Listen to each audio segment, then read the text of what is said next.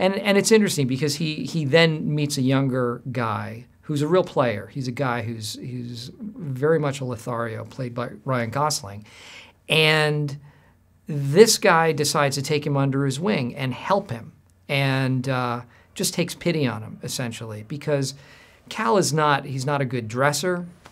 He is not somebody who is is very aware of the dating scene, and he's completely out of his element. And uh, Jacob, Ryan's character, decides this is going to be a project. This is going to be somebody I'm, I'm going to help out and see, see what I can do with him.